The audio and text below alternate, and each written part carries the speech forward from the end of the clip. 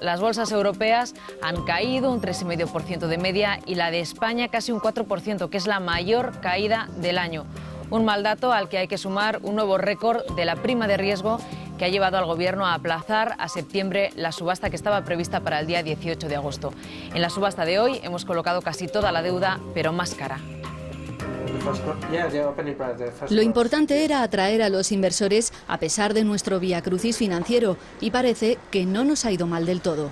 Había salido la subasta, han vendido 2.000 millones a tres años y 1.000 millones eh, a cuatro años. Colocamos 3.300 millones de euros en deuda a tres y cuatro años, cuando el reto era vender 3.500. Eso sí, para que los tiburones picaran el anzuelo, el Tesoro Público ha tenido que ofrecer intereses altos, un 12% más que en la última puja. Aún así, la subasta ha sido un éxito porque ha habido el doble de demanda que de oferta. Y eso, según los expertos, quiere decir que aún tenemos un voto de confianza. El que se haya superado en 2,4 veces aproximadamente eh, la oferta, pues también es una señal de que de momento pues hay, eh, digamos, apetito eh, a estos niveles de precios.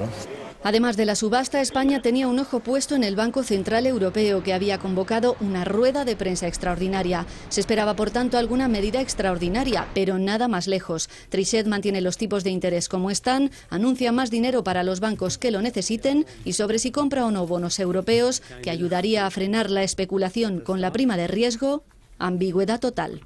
It is an ongoing program and, uh, uh, you will you will see, and we are totally uh, transparent. La comparecencia de Trichet no ha sido el bálsamo esperado y las bolsas se han resentido. Tras las subidas de primera hora, el IBEX se ha hundido casi un 4% y la prima de riesgo ha vuelto al peligroso límite de los 400 puntos. Y también la italiana rondaba esa cifra. En el resto de parques europeos tampoco les ha ido mejor, de media pérdidas de 3,5%. Según los analistas para los mercados, este verano pinta volátil como el éter. El Partido Popular ha dicho hoy que la situación es insostenible y ha pedido un anticipo del anticipo electoral. El Gobierno lo considera una irresponsabilidad que en nada contribuye a generar confianza.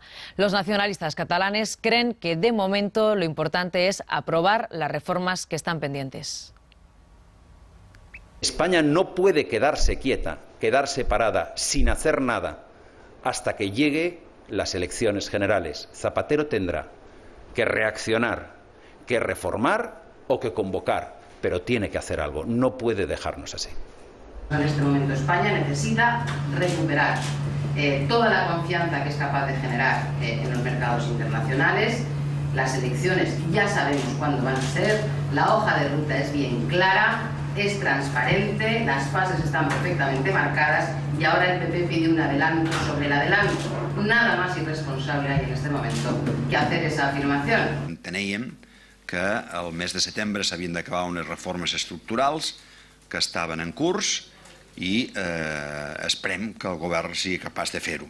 Si no ho fes, doncs potser sí que hauríem de plantejar-nos alguna altra posició al respecte.